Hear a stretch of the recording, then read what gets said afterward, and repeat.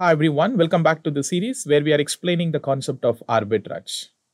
And in this session particularly we will be talking about a concept reverse arbitrage wherein you see a future prices are significantly lower than the underlying spot prices. And we are referencing with Indian equity markets. Let me show you a quick demo how you can find such opportunities and what is that you need to actually encash such things in real life. To do so, you have to get into a website, eqsis.com. Here you find a wonderful tool by which you can do them on your own. So if you get into a section called apps, underneath you find primer.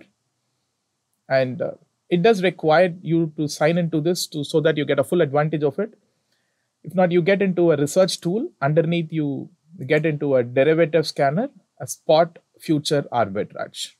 So if I get into this section, as I already explained in the previous playlist, that this is a very simple table, gives you some information about the underlying spot price and underlying a near month, which is the current month future price.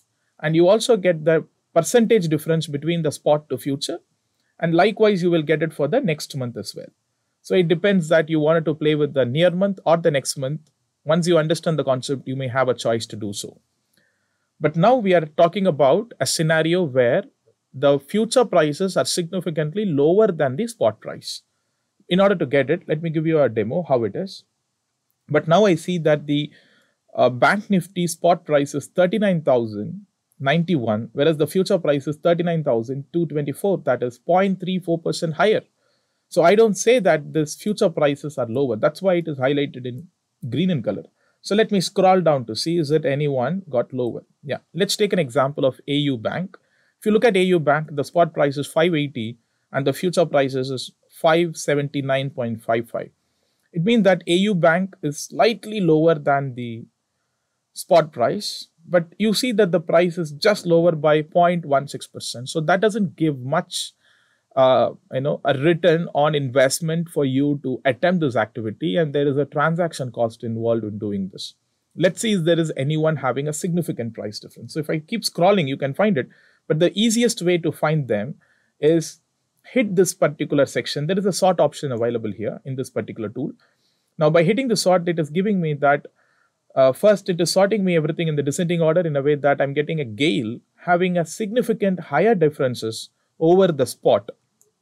Right? Because if you if you want to execute this, you can buy them at 110, you can sell them in futures. But now we are talking about the, the negative differences. So now I see a stock which is LTTS, am I right? Having a spot price is 35, 34, whereas in the future price it is only 3500. So there is about 34 rupees differences, which is close to 1%. This is what precisely I'm talking about it, am I right? So this 1% differences, even in SAIL, SBI card, Indus Tower, try understand the fact that uh, you know these these companies are having a significant difference. In fact, we posted a video maybe about uh, you know uh, one month before highlighting uh, significant opportunities in IndusInd Tower, and we did see some of our clients were able to capitalize uh, close to 10 to 15,000 rupees because we saw that difference is close to 5%. Am I right? And such differences got narrowed down, and we were able to, and the, since the lot size is also about 2,800, we were able to capitalize, uh, you know, quite a good uh, move from Indus Tower. Having said this, now let me teach you how you can also perform. Let's take an example. Although the differences are not significant, let me explain the concept now and make sure that you have a, a scope of setting an alert. Whenever such thing happen, you can make use of it. Let's first understand the concept. Now you know that the share price in the spot market is 35.34. So if you go and sell it in spot market, you can make a deal at 35.34. But the same you can buy back them on a future contract at 3500 so on a theoretical stance it is true that you can sell that in spot market and buy them in future markets and you end up getting close to percent close to 1% in this case that uh, there is an arbitrage gains but practically it has a difficulty because if you sell them in a spot market you have to deliver it.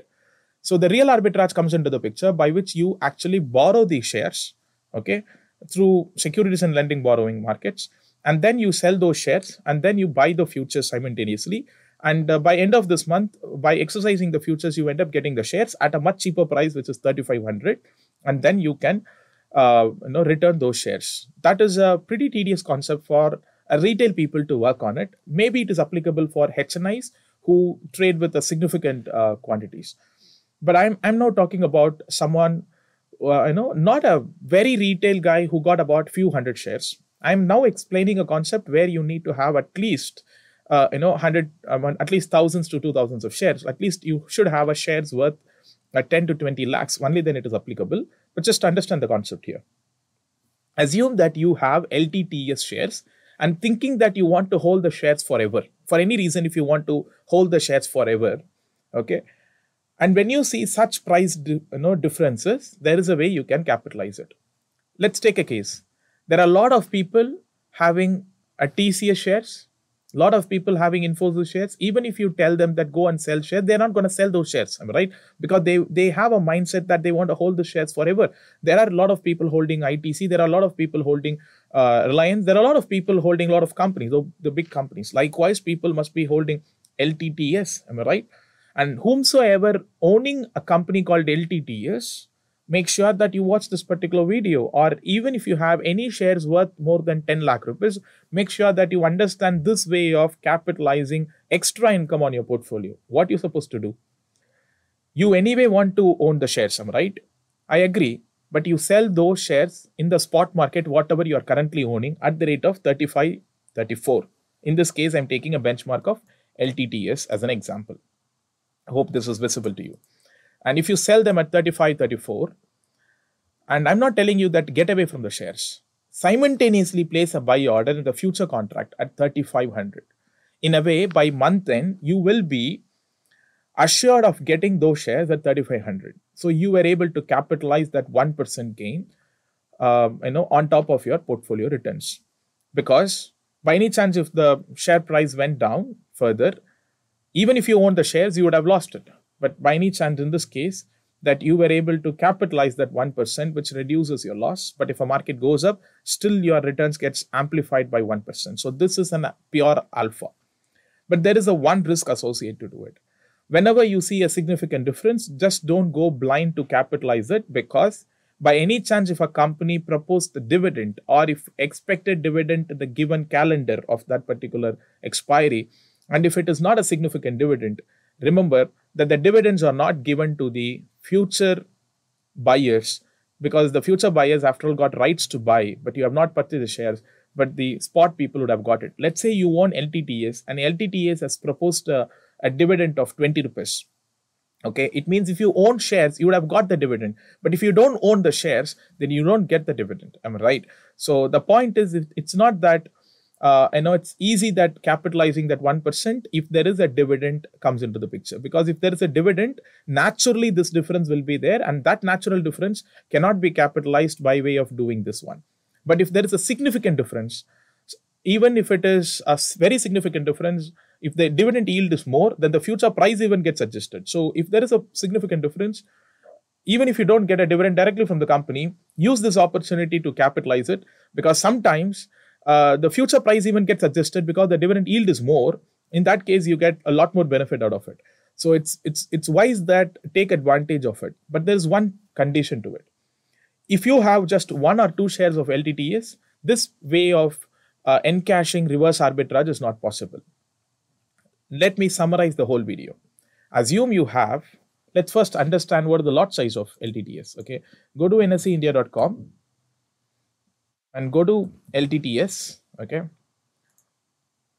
and um, go to derivatives and um, understand the the lot structure is around 200 rupees is a kind of you know the 200 quantities is a lot size. So if you own 200 shares of LTTS, this is straight applicable to you. Okay, even if you have a slightly lower or slightly higher, to a fair extent, it can be applied, but you need to know there is a risk involved understand the risk and do it. So now what you do is you make a deal in, uh, you know, place a buy order in future in a way that you agree to buy LTTS shares by month end buy 3,500.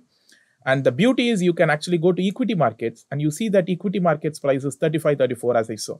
Explained you that you can place a sell order here. And if you sell that, that your shares are going out of your packet because you already own it.